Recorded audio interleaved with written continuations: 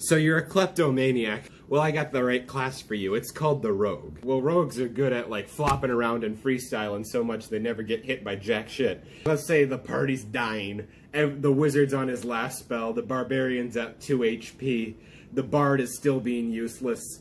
You can just leave. Fuck the party. You can just bitch out of there. Fuck them.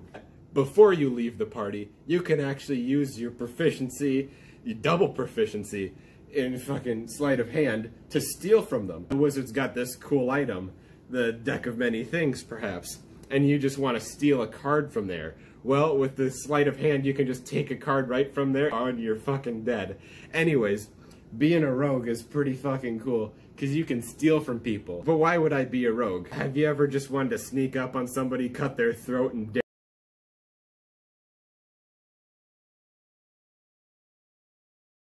Rogue. The Rogue is a good class. Alright, that's enough for this video.